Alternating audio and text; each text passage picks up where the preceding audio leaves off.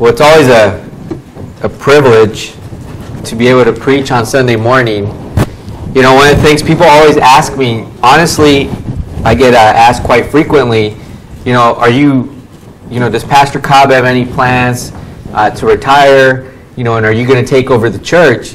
And my answer is always the same. Pastor Cobb's never discussed retirement with me or taking over the church. I love that about Pastor Cobb. You know, he's 81, 82, and I think he's just getting started. And so for me, it's always a privilege to be able to get up here and preach the Word of God on Sunday morning because, uh, you know, that's one of the things that's, that's encouraging is his leadership. He's very consistent and he's always here uh, unless he, you know, this week, just like everybody, I mean, uh, at some point you do need to take a break. He's on vacation with his family. He's over up on the north, uh, on East Texas with his brother and his wife, and I think they're going to be driving up to visit his sister-in-law. But so just pray for them, and uh, I appreciate you guys taking the time out of out of your schedule to be here today so that you can listen to the Word of God. Because obviously, you know, not being the, the main pastor, you, you know, I remember growing up in church, and anytime the main pastor would say that he was going to be gone, then the turnout was always less. So, you know, I think one of the things that I'll do whenever I, I lead a church is I just won't tell people when I'm going to be gone. So that, that way, whoever's filling in for me, people will still show up. But if you'll turn your, your uh, Bibles over to Jude, if you'll turn your Bibles over to Jude, we're going to be focused on uh, a couple of verses. And the title of my message today is Heaven and Hell, a Soul Winner's Message. And what's interesting is this morning we were talking about just the basics, just going back to the basic doctrines. And one of the things that's been laying on my heart lately, you know, I think it's a message that needs to be preached to us, is just getting back to the main thing. And, uh, you know, it's so funny, but heaven and hell seem something so trivial to us, right, that are believers. We understand there's a heaven, we understand there's a hell. But the reality is, I don't know that we talk enough about it and the consequences or the rewards that come with it.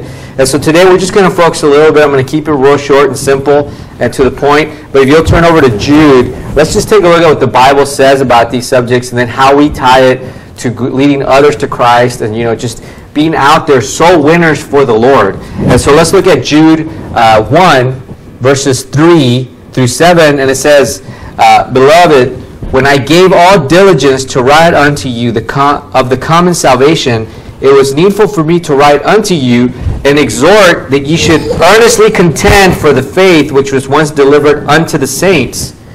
For there are certain men crept in unawares, who were of old ordained to this condemnation ungodly men, turning the grace of our God into lasciviousness, and denying the only Lord God and our Lord Jesus Christ.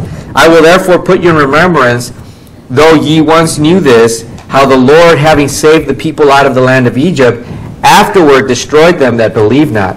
And the angels which kept not their first estate, but left their own habitations, have reserved he hath reserved in everlasting chains under darkness unto the judgment of the great day even as Sodom and Gomorrah and the cities about them in like manner give themselves over to fornication and going after strange flesh, are set forth as an ex- for an example, suffering the vengeance of eternal fire. The reason I chose those three, those set of verses, is because in there we see that uh, the book of Jude is talking about heaven and hell.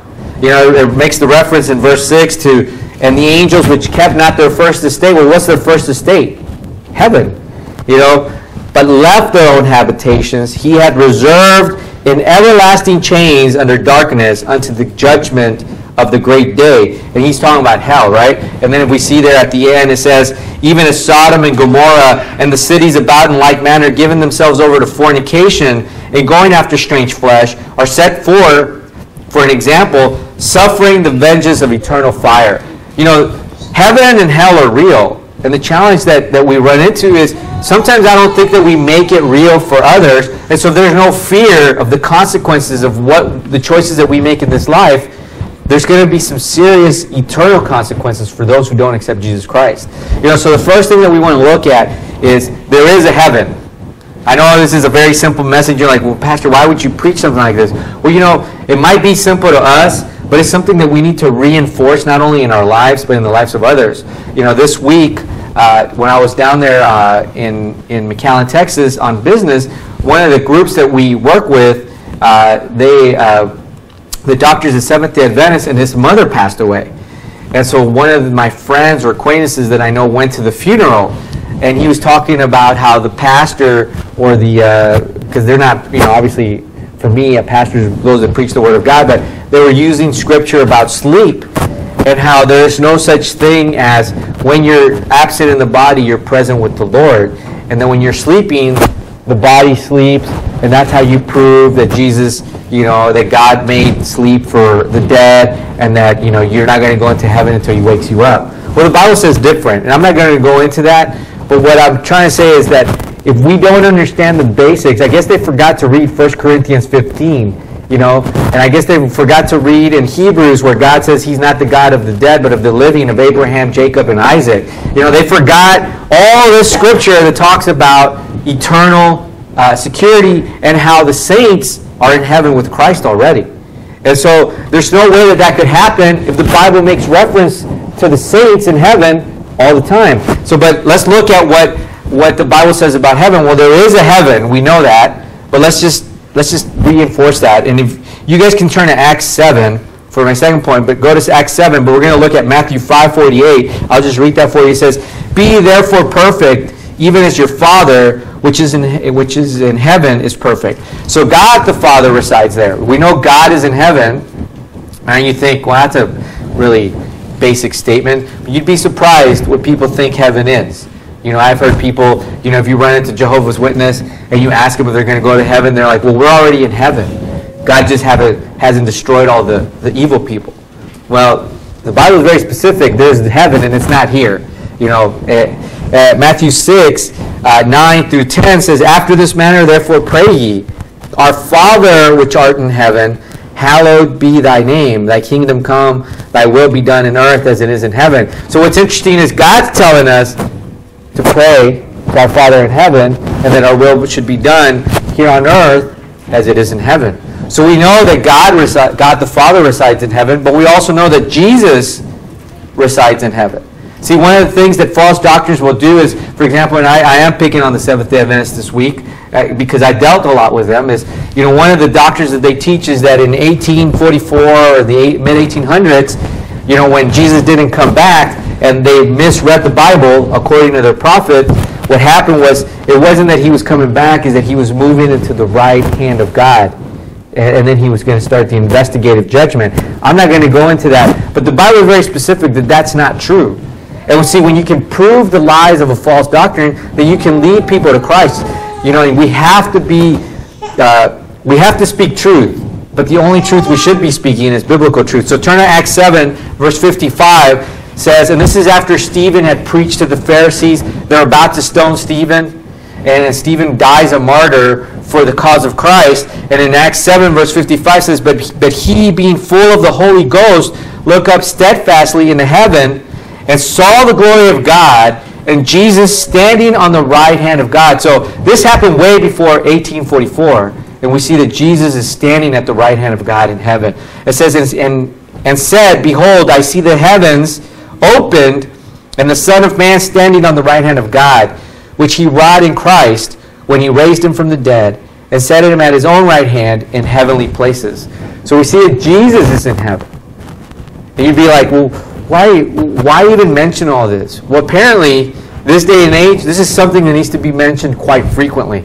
These are subjects that you're going to run into when you're out soul winning. And then the final thing that I want to point out about you know, knowing that there is a heaven is go to Matthew 5, 17. Matthew 5, 17 says that we that are saved will go to heaven. Now, there's a whole, honestly, each one of these subjects requires its own uh, sermon. But for the sake of filling in for Pastor Cobb, you know, I, I, broke it down into a soul winning message. But the Bible tells us in Matthew 5, 17, it says, Think not that I have come to destroy the law or the prophets. I have not come to destroy, but to fulfill. For verily I say unto you, till heaven and earth pass, one jot or one tittle shall in no wise pass from the law, till all be fulfilled. Whosoever therefore shall break one of these least commandments and, so, and shall teach me and shall teach men so, he shall be called the least in the kingdom of heaven. But whosoever shall do and teach them, the same shall be called great in the kingdom of heaven. For I say unto you that except your righteousness shall exceed the righteousness of the scribes and Pharisees, ye shall in no case enter into the kingdom of heaven. Now, this is talking about salvation, right? How do you exceed this, uh, the righteousness of a false prophet? Well, you're justified or you're made righteous by the blood of Jesus Christ. And once you've done that, when we die in the physical body, we won't experience the second death. Those who were cast into the lake of fire and brimstone, right? Lake of fire that burns with uh, fire and brimstone. And so the thing that we know is that when we pass, our soul, our spirit immediately goes to heaven. So there is a heaven, and we are going to reside there for some time. Now, we can, I'm not going to get into that, but the Bible does speak of the new heaven and the new earth and the fire destroying earth, and, you know, he, he sets up his new kingdom. But we will be in heaven for a time, right? That's a fact. And the fact that heaven exists means that we should be preaching about heaven. And go to John, uh, well, you don't, don't, don't go to John. Um, go to Luke 12, but I'll read this for you. John 14, 6, you all know the verse. Jesus saith, Unto him I am the way, the truth, and the life. No man cometh unto the Father but by me. Well, how do we get to the Father? Well, the Father's in heaven, and Jesus is the way to the Father. Well, then that's how we're going to get there, right? He's in heaven, and we're going to get to the Father through Jesus Christ our Lord. So there is a heaven, and that brings me to the next point. Because there is a heaven, that's the nice one to talk about. We know that there also is a hell. And you'd be surprised how many people don't believe in hell. As a matter of fact, uh, just this morning I was preparing for the sermon this afternoon, but I'll tell you anyways. You know, one of the things that Seventh day Adventists believe is that it's such a contradictory statement. You know, I was reading a sermon uh, about the, the, the, subject that a sermon from a Seventh day Adventist church or a pastor, and one of the things that he was saying of it, it, it applies to this message today, is it, in there it says that God, when He uh, condemns you to hell, the everlasting fire will consume you, and then the fire goes out because it's no longer needed. So, you know, they believe in a, in a thing called annihilism, which means that once you're uh, condemned to hell, God's going to burn you up, and I guess you're just going to disappear, and then that's the consequence. Well, the Bible tells us different. It's very specific that it's an eternal damnation and it's an eternal torture for all eternity. As a matter of fact, a lot of false religions will preach and teach that the, the story of Lazarus and the rich man is a parable, which we know it's not.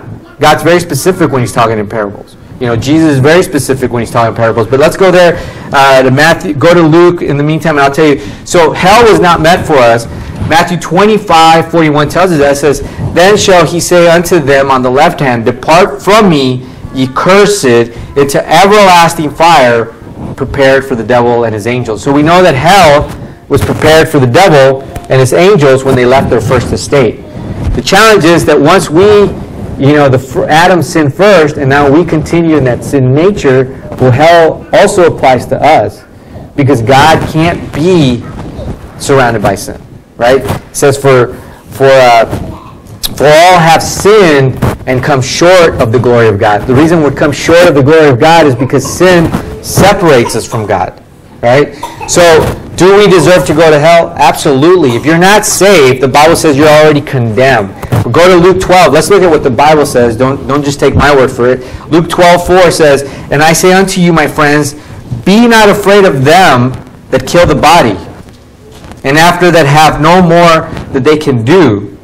But I will forewarn you whom ye shall fear. Fear him which after he killeth hath power to cast you into hell. Yea, I say unto you, fear him. A couple of things that, that you need to, to, point out here. Matthew 10 28 says the same thing. It's a parallel passage. It says, And fear not them which kill the body, but are able to kill the soul. But rather fear him which is able to destroy both uh, uh, soul and body in hell. A couple of things. False religions will preach two things that, that, that stand out here.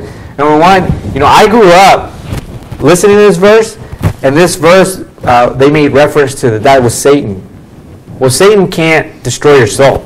He's a created being just like we are. That's number one. And number two is if you go to Luke 12 5, it says, But I will forewarn you whom ye shall fear. Fear him which after he hath killeth hath power to cast into hell. You know, people say, well, you know, when you reject God, what you're doing is you're casting yourself into hell. right? If you don't accept Jesus Christ, what you're doing is you're choosing hell. No, you're not. You're, re- you're choosing to reject Christ, but God's the one that's casting you into hell. See, we got we got to stop playing this game that somehow we can control what we do with our salvation. That somehow we have the power to tell God how and when and at what time things should occur for our eternal security. The Bible is very clear that once you're saved, you're always saved. That if you believe on Jesus Christ, if you believe on the Lord Jesus Christ, you shall be saved. And that's it. It's not a work salvation. The Bible is very clear. If it was works, then there wouldn't be one to fear that can take the body and the soul. Right? Then we would be able to trust man, or we would be able to trust uh, angels or principalities to tell us what it is in the law that could save us. And so we have to then go out there and tell people, look, we deserve hell. And people don't like to hear that. Well, I don't know if I can worship a God that says his love, but would cast you into hell. Well, that's what the Bible says. I mean, I'm just the messenger. And I'm preaching the message of truth. And you would want me to preach the message of truth because you don't want to be going to hell. And you don't want your brothers and sisters, your family members, your friends to go to hell. See, what stood out to me was I had a, a discussion with a close family member of mine. And I, I don't want to call him out here, uh, you know, because we do post these on YouTube and stuff, but a close family member of mine, he knows who he is, if he ever listens to this, that believes that you can lose your salvation. And that believes that when you go to hell, it's an annihilism, that there is no consequence eternally for your sin. See, when you're annihilated, then that's it, it's over. But see, God says that when you're cast into an eternal fire, an eternal hell, and that you're going to suffer consciously for all eternity. So when there is, when we talk about heaven, we better be talking about hell. You know, Bible tells us in John uh, 3.18, this really stands out to me. He says, He that believeth on him is not condemned. I, I, you know, we, you always hear sermons, and it's always like John 3.16. You know, we know that one, right? And then 17, that Jesus came not to condemn. Then we forget 18. But I love 18, and we're going to go 18 through 21 this time. It says, He that believeth on him is not condemned. See, how do you, remo- how do you remove condemnation from your life? You believe on him. Who's that him that's talking about? Well, if you go back to 17 and 16, it's Jesus Christ. It says, But he that believeth not is condemned already. See, if you don't believe on the Lord Jesus Christ, you're condemned already. Well, what are you condemned to? Well, we just told you it's hell, right? Uh, let's go, uh, let's keep reading there on verse 18. It says, Because he had not believed in the name of the only begotten Son of God. Well, we know the only begotten Son of God is Jesus Christ. It says, And that this condemnation, that light is come into the world, and men loved darkness rather than light because their deeds were evil. For everyone that doeth evil hateth the light, neither cometh to the light, lest his deeds should be reproved. But he that doeth, and I like this word that I highlighted here in my, in my sermon, he says, But he that doeth not good works, not good things, not feed the poor, it says, He that doeth truth. See, what truth is it we're going to be doing?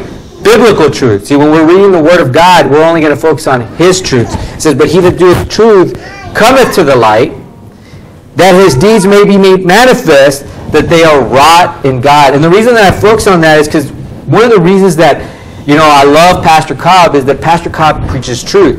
And when you preach truth, truth is very offensive. and can come off hateful. It can come off wrong. But you know what? whenever your, your core is, is uh, shook like that, whenever you're shaken to the core, that's the only way that you have that conviction to really seek out the truth that can lead you to everlasting life. Right? I remember when I got in a car, and you know Trey's back there, so he knows who, who I'm talking about. Trey was my business partner, uh, and still is on, on, certain other things. But Trey and I go, uh, you know, about 20 years back, maybe 17. But I remember I got in a car with our business mentor at the time, and I was 20, 21, and I guess he had found out that I was a Seventh-day Adventist. And people say, well, you shouldn't talk mean about other religions, and you shouldn't say certain things, and you shouldn't be, uh, you know, you shouldn't approach it certain way. So I got in the car, and he says, hey, I heard you're, you're a Seventh-day Adventist. I said, yeah, that's true. He says, you know that's a satanic cult, and you're going to hell. I mean, that's pretty offensive. And when you're 21 and you don't know much, I mean, I didn't know what to say at the time. But one thing it did do is that it made me think, why would someone tell me something like that? And then I, I went and searched out the scripture. See, when you go about it the opposite way, without truth, when you skirt around the issues, what you're doing is you're only jeopardizing those that you're trying to lead to Christ. Right? You know, if somebody has cancer, you don't want to tell them that that cough is a common cold. You want to tell them, hey, you have cancer. You're dying. You have six months to live, three months to live, maybe two years to live. You know why? Because it's, it's only right to tell them how they should prepare for their physical death, right? And if you found out that a doctor didn't tell somebody that they had cancer, you'd probably think like, well, that's malpractice. You know, that guy should probably be, you know, have his license removed, or even to the point of t- sending him to jail for false information, right? Well, that's the same thing with us when we're not preaching the entire truth, the entire counsel of God is we should be removed from our ministry if we're not telling people the truth, uh, the entire truth. You know, it says his word is truth, thy word is truth. Whose word? Jesus Christ.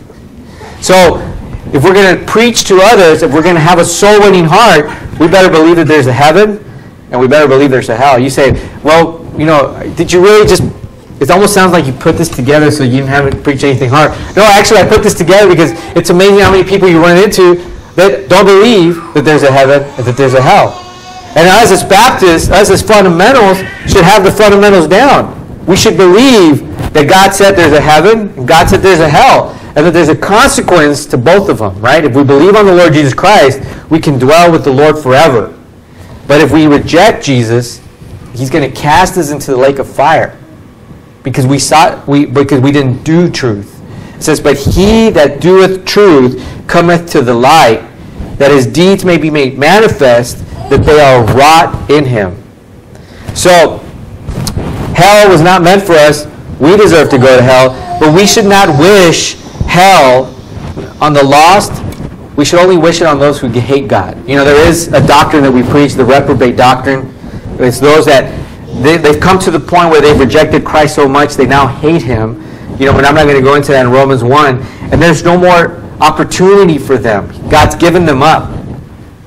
But because of that, sometimes we take a, a, that attitude towards the entire world. But God says, look, there's a lost world and the laborers are few. The harvest is ready, but the laborers are few, right? The harvest is white. Let's go to uh, there to 2 Peter 3 9. 2 Peter 3 9, and I, I got them right here. Uh, the Bible tells us the Lord is not slack concerning his promise, as, as some men count slackness, but is long suffering to usward, not willing that any should perish, but that all should come to repentance. But the day of the Lord will come as a thief in the night, in the which the heavens shall pass away with a great noise, and the elements shall melt with fervent heat. The earth shall also and the works that are therein shall be burned up. See, God's going to burn up all the works because the only way into heaven is the fruit of the Spirit, and it's through Jesus Christ, right? But it say, but the big thing I want to focus on is God's telling us, look, you should have a soul winner's heart because He's not willing that any should perish. Now, some will perish, and the Bible tells us that it's broad, right? The road. There's a lot that will perish, but it's not for us to decide or to be complacent about the thing. It's for us to decide to go out there and do the work of the Lord because it says, But the day of the Lord will come as a thief of the night. See, we don't know when the Lord is coming. We have signs and we have certain things that He's going to prepare us for, so I believe that He's not coming tomorrow because biblically, all the things that He says are going to come to haven't. But we don't know when he's coming. The other thing, though, forget just the day of the Lord. We don't know not only when he's not coming, but we also don't know when people are going to die. And see, sometimes the Lord stirs the heart for you to preach the word to somebody else, and maybe you're embarrassed, or you don't want to bother them, or you don't want to impose. But you don't know if that's the last time that you're going to have an opportunity to tell somebody about heaven and hell. See, you've got to, I mean, if, if you're not lamenting the souls that are lost, then where, where is your soul winner's heart? Where is your doctrine? See, because if, you if you know, if you study the Word and you know there's a heaven and you know there's a hell and you know that that hell is real, man, it becomes more apparent every time that you're talking to somebody, right? And you want to go out there and tell others of Jesus Christ. You know, when I when I hear of these close family members of mine that don't believe, it makes me sad. Think about your family members. Because the minute that they pass, it's eternity in hell forever. Forever. That those individuals that we know that have passed that weren't saved, whether it's a day or a week or a month or a year or 50 years, it doesn't matter. It's not going to stop. And they've been there in hell for that long. You know, just burning in hell for all that time and forevermore. That's a serious consequence if we're not out there teaching the basic principles. You know, so the Bible tells us that there's a heaven and that there's a hell. And I know you're like, wow, that, there you go again with that. But it's that simple. Sometimes we complicate this issue too much. I mean, seriously, just talk to Jehovah's Witness for any amount of time, and they don't believe in heaven. They don't believe that there's a heaven. They think that only 144,000 will hang out out there because they read some verse out of context, and that everybody else is walking around here, and we're all in heaven. Man, I hope this is not heaven because the Bible says there's going to be no more suffering, no more, no more tears. We're going to have joy. Let me tell you, sometimes I shed tears. Sometimes there's suffering in our lives. Sometimes things are hard. You know, just just a couple of days ago or about a week or two ago, I was in excruciating pain because I had a back spasm. That was not, that didn't sound like the heaven of the Bible. Let me tell you, that was not fun. So I'm just telling you that that's a lie from the pit of hell. That's a lie that will send millions, not thousands, millions of people to hell. Because Jehovah's Witnesses is one of the largest religions here in the United States. They have like 8 to 20, they can't make up their mind, but according to the records, it's 8 million but the reality is probably more closer to 16 million people going to hell. All because they think they're already living heaven on earth. When the Bible tells us very differently. So, you know, what is it that, what's the point of this message? Well, the message is, you know, soul winning keeps you ready, uh, battle ready in the fight and shooting for heavenly reward. See, the reason I preach is we want to preach on heaven and hell because we want to have a soul winner's heart. We want to tell others of Jesus Christ. And really, the reason why do we tell others of Jesus Christ? Because we're telling them of the two main things, right? You're trying to avoid hell so that you can be in heaven with Christ for all eternity. And you know, we can get into all the deep doctrine of how you know the millennial reign and all that stuff, but that's not the point. We can learn that later. The simplicity of salvation is what we should be preaching, and it, and it comes down to two very simple things. Look, Jesus died on the cross, or a couple of th- things, but Jesus died on the cross for us right? He paid for our sins so that we would avoid hell and we could be in heaven forever. You know, turn to Jude 1, verse 17. Go back to Jude, and then we're going to be in Ephesians 6. So Jude, and then put your finger in Ephesians 6. You know, the Bible tells us that we need to be battle ready. The Bible tells us we're in a battle for the souls of men and women, right? For humanity. He doesn't want, he, what did he say? He says he's not slack concerning his promise, as some men count slackness, but is long suffering to usward, not willing that any should perish. That any, that means all have a chance. Some have rejected him openly and vehemently, but everybody has a chance until they don't. Right? The Bible tells us there in Jude 1 17 says, But beloved, remember ye the words which were spoken before the apostles of our Lord Jesus Christ, how that they told you there should be mockers in the last time who should walk after their own ungodly lusts. These be they who separate themselves, sensual, having not the Spirit, but, but ye, beloved, building up yourselves on your most holy faith, praying in the Holy Ghost, keep yourselves in the love of God, looking for the mercy of our Lord Jesus Christ unto eternal life. And some have compassion, making a difference, and others save with fear, pulling them out of the fire, hating even the garments spotted by the flesh. The Bible likens the soul winning heart to us literally saving people out of the eternal fire. Because of the we're saving others saved with fear. See, some people say, Well, I got saved because I feared hell. Good. That's how you believe on the Lord Jesus Christ. Because then you believe that there is a hell right? But you believed on the Lord Jesus Christ to avoid hell. That's fine. Avoid it all day long. Now, grow in Christ, that's a whole other sermon and a whole other time, but hey, I'm all for that. Don't go there. Don't go there for all eternity. I was in, in uh, uh, real quick before we, we get to the next point of this, I was in a lot of pain about two weeks ago, and I couldn't walk. I had to get a cortisone shot, and I mean, it was excruciating pain. But it was in, it came in waves, right? You know, like if I moved a certain direction, it would it would all my entire back would hurt, and I would scream. I mean, literally, I was screaming in pain.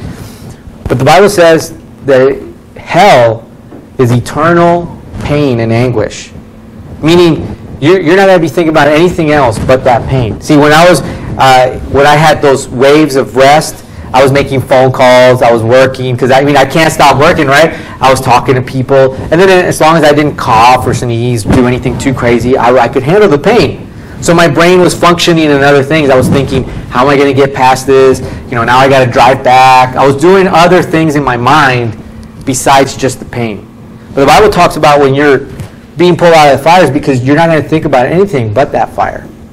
You're not going to think about anything but that pain. You're going to be conscious in that eternal flame forever. I mean, so it's something that we really need to be conscious about, and it's going to keep us battle ready because the challenge is we get complacent if we're not uh, reviewing the basics. See, you don't have a soul winner's heart if you're not reading your Bible every day. See, if you read your Bible all the time, you're going to know that there's a heaven and a hell, and that there's consequences for that. If you're praying every day, if you're in church every week, if you're in church Wednesday and Sunday morning and Sunday afternoon, guess what? You're reminded of the cruel fact that you're condemned already. And that there's only one way into heaven, and that's through Jesus Christ. You know, it also keeps us in the fight. See, if you're if you're if you know the basics, if you understand this, then it keeps you in the fight. Go to Ephesians 6:10. The Bible says, "Finally, my brethren, be strong in the Lord and in the power of his might." Put on the whole armor of God, that you may be able to stand against the wiles of the devil. See, if, if you're not willing to be in the fight, you're never going to put on the armor, right? You don't want to be hanging around with some guy who's not willing to get in a fight with you. I mean, or be in the trenches with you. The Bible says, but you got to put on the whole armor of God that you may be able to stand against the wiles of the devil. See, once you're saved and you're out there soul winning, well, the devil's still attacking because he's going to try to impede you from getting the gospel out to others. It says in verse 12, says, For we wrestle not against flesh and blood, in other words, stop being warmongers. You know, I, have never met a, you know, our country is, is uh, supposedly a bunch of Christians that just want to go and kill everybody. We want to be at war with everybody. And the Bible says that God's not willing that any should perish. But man, we're willing that everybody should perish.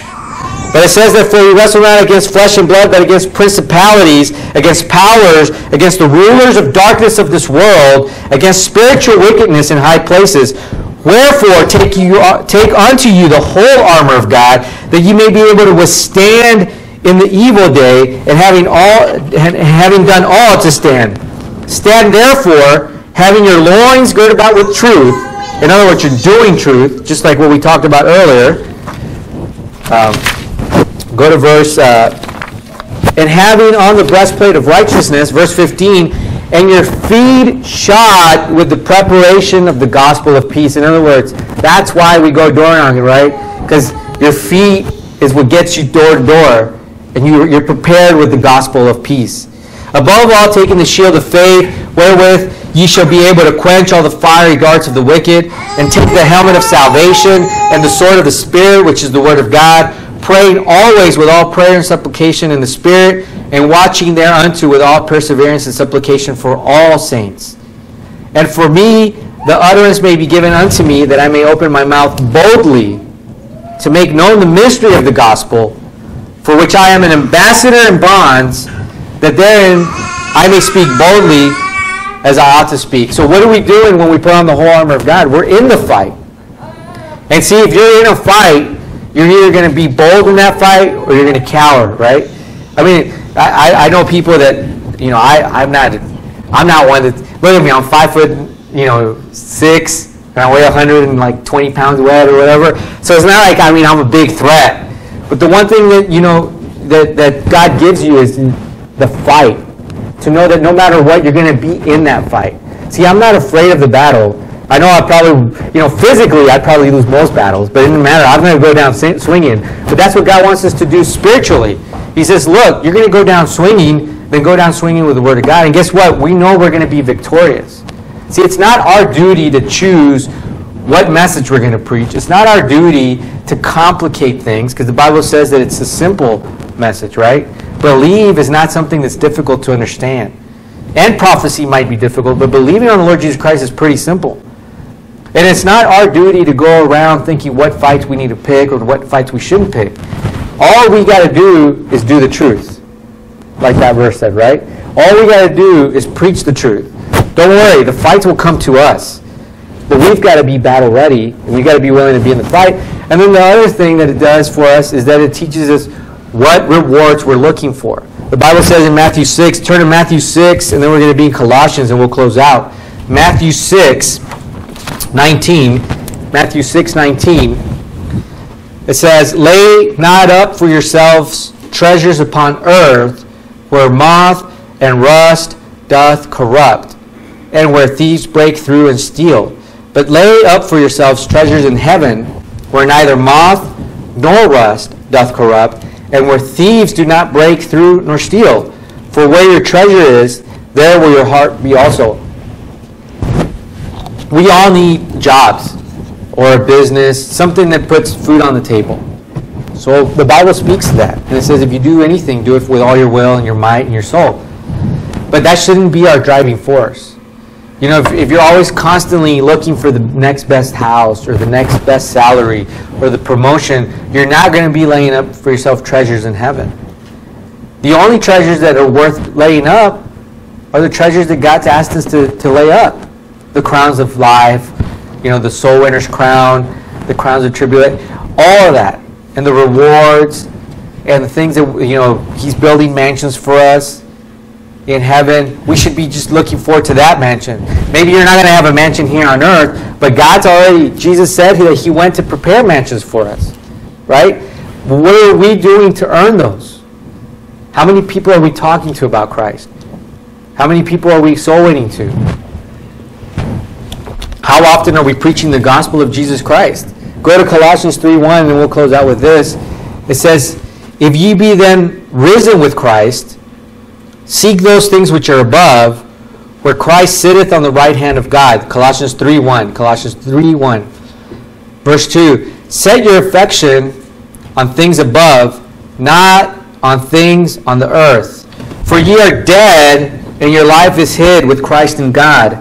When Christ, who, when Christ, who is our life, shall appear, then shall ye also appear with him in glory. So the Bible's telling us to not set our affections on things of this earth, but things above.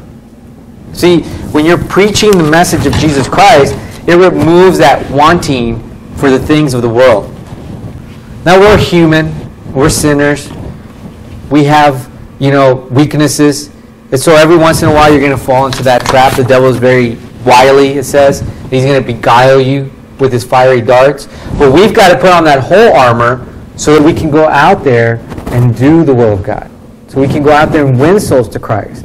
So we can go out there and preach the word and we can fight those battles. See, the battles are going to come. Once you're saved, you're no longer on the devil's team. All right? But the challenge is the devil's not worried about those that have their affection set on things of this earth where they're laying up treasures here, where they're buying the next yacht or the next boat or the next they're looking to the next retirement or the next best job or they're keeping up with the Joneses. He doesn't care about that, but he does care about those that have their affection set above. They're looking to the day of the coming of the Lord. They're looking to that eternal, perpetual peace, that day of rest. And so, bottom line is, we've got to know what our foundation is. And we've got to know what others are doing to get you off that track. Because if you talk to any good Seventh day Adventist, and I mean, today's the Seventh day Adventist, tomorrow's the Mormons, you know what? Just call them out, right? The Muslims, the Buddhists, the Hindus, all of them, they're sending people to hell. All of them are sending people to hell. See, we don't believe in all religions. As a matter of fact, the Bible speaks of pure religion. And it's to take care of the fatherless and the widows, right? And to keep yourself unspotted from the world. See, the thing that we need to worry about is the truth of Christ. Because there's groups out there that preach a different gospel. There's people out there that'll come to you and teach different things. And if we're not grounded in the Word of Christ, we won't be able to go out there and soul winning.